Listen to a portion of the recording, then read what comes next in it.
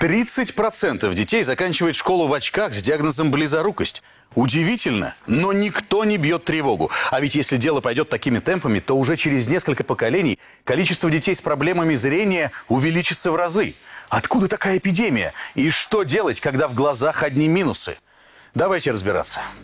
Виктория Олеговна Баласанян, кандидат медицинских наук, детский врач-офтальмолог, рефракционный хирург, член международных офтальмологических организаций, Европейской ассоциации детских офтальмологов и Европейского общества стробизмологов. Награждена медалью «Гордость России». Виктория Олеговна, здравствуйте. Здравствуйте. Расскажите же нам, что такое близорукость и почему зрение так резко падает? Ну, существует обывательское определение данного патологического состояния, что близорукость – это когда человек плохо видит вдаль. Но на самом деле данное определение не совсем корректно, точнее, не очень э, не, э, неполноценное. То есть близорукость – это болезнь удлиняющегося глаза. Глазное яблоко у ребенка, оно продолжает расти до 6 лет – Любое последующее удлинение глазного яблока считается патологическим. Вот на данной картинке мы видим, наверху изображена норма, а, когда рассматриваемый объект, проходя через преломляющие среды глаза, он проецируется на оптическом центре прямо на сетчатке. Любое патологи... удлинение глазного яблока, оно приводит к тому, что а, значит, данный фокус уже не попадает на сетчатку, он находится впереди сетчатки, и на сетчатку проецируется уже размытое, расфокусированное изображение. Ну, соответственно, когда мы э, э, значит, проводим оптическую коррекцию, это может быть очки, это могут быть контактные линзы, мы смещаем этот фокус туда, где ему положено быть, то есть на сетчатку. То есть, получается, изначально ребенок э, не близорук? Все дети рождаются с дальнозоркостью угу. плюс 3. Далее, по мере роста глазного яблока, дальнозоркость уменьшается. То есть годам мы имеем дальнозоркость плюс 2, далее плюс 1, и к 6 годам глазное яблоко перестает расти, и мы имеем норму, которая у нас отображена вот наверху ну, на верхней картинке. А последующее удлинение глазного яблока, оно приводит к развитию близорукости. Причем удлинение на 1 мм приводит к росту близорукости на 3 диоптрии. То есть, условно, если в норме длина глазного яблока где-то порядка 22 мм, 23 мм – это уже близорукость минус 3. Ну, у каждого, понятно, угу. это норма своя. Скажите, Какие факторы влияют на дальнейшее удлинение вот глазного яблока? Ну, в первую очередь, конечно же, имеет значение ведущую роль – это наследственная предрасположенность. То есть, если у детей, у бабушек и у дедушек, то есть, причем не, не обязательно прямое наследование, то есть, не обязательно, чтобы у мамы с папой была бы близорукость. Да? Близорукость может быть у бабушки. Например, очень часто, когда обращаются с данной проблемой, родители спрашиваешь, есть ли у кого-либо в семье близорукость. Mm-hmm. Да? Говорят, что нет, нету, но у нас была бабушка, которая которая в 70 лет вязала без очков. То есть это верный признак того, что у бабушки в свое время в молодости была близорукость. А, и, как правило, если признак наследуется, то и течение его более злостное. Ну и прежде всего это зрительные нагрузки, которые есть у, де у детей в школе. Это всевозможные гаджеты, э, которые также могут провоцировать. Они с, провоцируют. С осмотром что-нибудь да. близко рядом. Да, да. Понятно. Да. Все-таки это влияет на нас. Да. А каким осложнением может привести близорукость? Глазное яблоко, оно оно удлиняется не за счет его роста, а за счет его растяжения. То есть глазное яблоко растягивается, и, соответственно, вот структуры глаза, которые мы видим, это склера, это сетчатка с ее слоями, это зрительный нерв, они истончаются. То есть там происходят структурные болезни, то есть э, структурные уже изменения происходят. И это может привести к дистрофическим изменениям на сетчатке, на глазном дне, причем наиболее уязвимые являются вот периферические отделы, то есть могут развить эти дистрофические процессы, которые со временем могут привести к отслоению сетчатки. Я прошу прощения, задам, наверное, странный вопрос.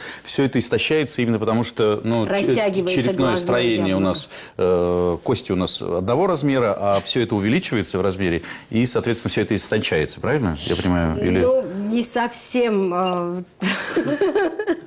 Не совсем так, ну ладно. В том плане, что а, удлинение глазного яблока происходит за счет растяжения. То есть ткань, она сама растягивается. То есть если мы, ну вот, э, толщина самой ткани, оболочки, она становится тоньше.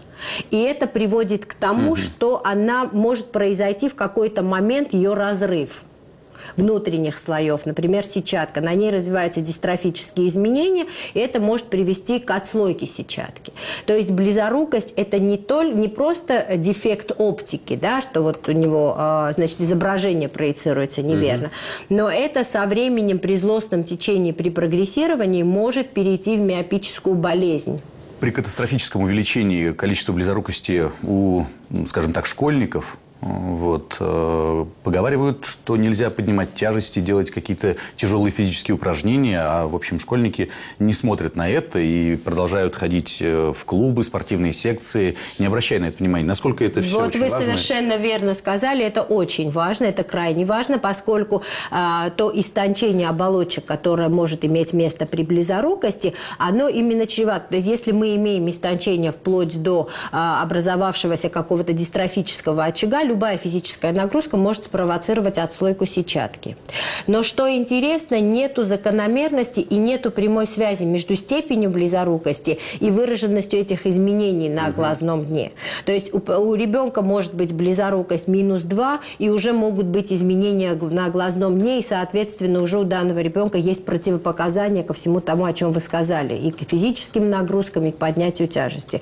Но очень много мы имеем в практике ситуаций, когда у человека близорукость минус 7, но при этом абсолютно нормальное глазное дно. Здесь тоже имеет фактор, значение фактор наследственности, но и индивидуальных особенностей. Я знаю, что есть линзы какие-то новые, которые меняют роговицу глаза, есть очки. Вот офтальмологи пришли к какому-то единому мнению? Вот все то, что было перечислено, то есть это очки, это линзы, есть мягкие линзы, есть жесткие линзы и э, лазерная коррекция, угу. тоже сейчас достаточно широко э, значит, распространена после какого-то определенного возраста нужно применять лазерную да, Ну, я сейчас скажу по поводу угу. этих возрастных ограничений. То есть это все средства коррекции оптики. Это не лечение близорукости. Угу. То есть есть оптический дефект, мы его убираем. То есть фактически изображение, которое проецируется впереди сетчатки, не попадает на сетчатку, данно, изменяя оптику посредством очков, линз или э, значит, лазерной коррекции, мы это изображение смещаем туда, куда им, где ему положено быть. Но это не стабилизирует близорукость, это не лечит те изменения, которые происходят на глазном дне. Для того, чтобы это происходило, с того момента, когда уже у ребенка диагностирована близорукость, необходимо проводить курсы лечения. Курсы лечения, они на что направлены, то есть что именно нужно лечить. Mm -hmm. То есть во всем вот этом механизме прогрессирования близорукости и удлинения глазного яблока ключевым является функция мышцы аккомодационной. Мышца, которая, работа которой позволяет нам видеть предметы на разном расстоянии. А, данная мышца, она находится в состоянии напряжения у детишек, ну, у людей с близорукостью. А, и говоря о, а, значит, ограничениях по использованию гаджетов, зрительных нагрузок и так далее, мы имеем в виду тот факт, что это все усугубляет э, нагрузку на эту мышцу. То есть еще более в спазмированное состояние переводит эту мышцу. И вот это вот напряжение ее приводит к тому, что глаз начинает компенсаторно растягиваться, удлиняться, и близорукость прогрессирует.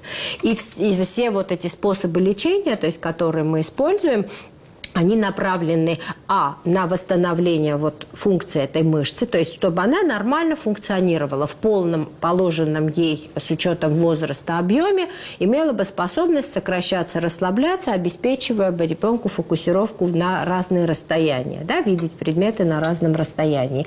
И если уже имели место вот все те изменения, о которых мы сейчас уже проговорили, связанные с изменениями истончением сетчатки и оболочек глаза, это уже физиологически физиотерапевтические процедуры, которые улучшают кровообращение и как бы подпитать глаз. Что касается лазерной коррекции, то есть основным является критерием для оценки, для выбора сроков проведения mm-hmm. лазерной коррекции является не возраст пациента, а, а течение близорукости. А, значит, распространенное мнение, что лазерную коррекцию близорукости можно проводить а, к 18 годам, оно ошибочно. Почему? Потому что если мы в 18 лет или в 20 лет, наблюдая за э, течением близорукости у данного конкретного человека, констатируем ее прогрессирование, то ни в коем случае нельзя делать лазерную коррекцию. Угу. Но в то же самое время, если мы там э, в более раннем сроке имеем стабилизацию близорукости, то, э, значит, можно проводить смело лазерную коррекцию. И здесь еще что очень важно проговорить, близорукость бывает, это все, что мы сейчас проговорили, это касается приобретенной близорукости, школьную ее иначе называют, она может быть ранее, поздно приобретенная. Есть еще и врожденная близорукость. Это когда у ребенка с рождения имеется близорукость она может приводить к более тяжелым осложнениям, связанным с тем, что у ребенка с рождения на э, сетчатку проецируется, вот на этот оптический центр проецируется размытое изображение. Угу. И у ребенка раз, развивается амблиопия. А, то есть Это слабое зрение. Слабое зрение. Да. Угу. Вот у людей с близорукостью мы знаем, что человек без очков, он не видит, одевает очки, он видит. А что такое амблиопия? Это когда человек не видит и в очках, и без очков. То есть э, все вот эти изменения уже здесь касаются структурного характера. А, при врожденной близорукости не происходит такого ее интенсивного прогрессирования. И очень часто можно годам к 6-7 при врожденной близорукости провести лазерную коррекцию с тем, чтобы эффективнее вылечить амблиопию, которая развивается у данных детишек, и предупредить ее последующее прогрессирование. Скажите, а сколько длится такая операция? И каковы последствия, если, если они есть, конечно? Проводится обследование. Значит, сама операция, она длится, ну, само воздействие лазера там вообще длится до минуты, да, угу. а сама операция где-то проводится минут 15. У взрослых пациентов без наркоза. А, а реабилитация детей... проходит? Реабилитация – это месяц ограничения физических нагрузок. Дайте нам совет, что же делать с близорукостью. Может быть, какие-то упражнения есть для того, чтобы предупредить эту болезнь? А, очень важным является чередование режима труда и отдыха. То есть после длительных зрительных нагрузок и детям, и взрослым необходимо дать возможность глазкам отдохнуть. Что касается упражнения, вот, э, да, ну, наиболее распространенное и, по мне, более эффективное упражнение, это, э, значит, с меткой на стекле всем известное. Mm. Это когда, значит, подходишь к окну, смотришь на э, метку, которая находится на ближайшем расстоянии, дальше находишь какой-то объект на удаленном расстоянии, в течение 15 минут переводишь взгляд сблизи вдаль. То есть это как раз-таки расслабляет ту мышцу, то есть тренирует ту мышцу, о которой мы рассказали, функция которой является ключевой вот в течение близорукости. Э, насколько я правильно понял, когда мы э, смотрим вблизи, это напрягает глаз. Когда мы смотрим вдаль, это Совершенно расслабляет. верно, да. Соответственно, некие медита медитации при просмотре пейзажев, наслаждением природой расслабляют наши глаза. Виктория Олеговна, спасибо вам за интересную беседу. Берегите ваши глаза. Это был Медосмотр.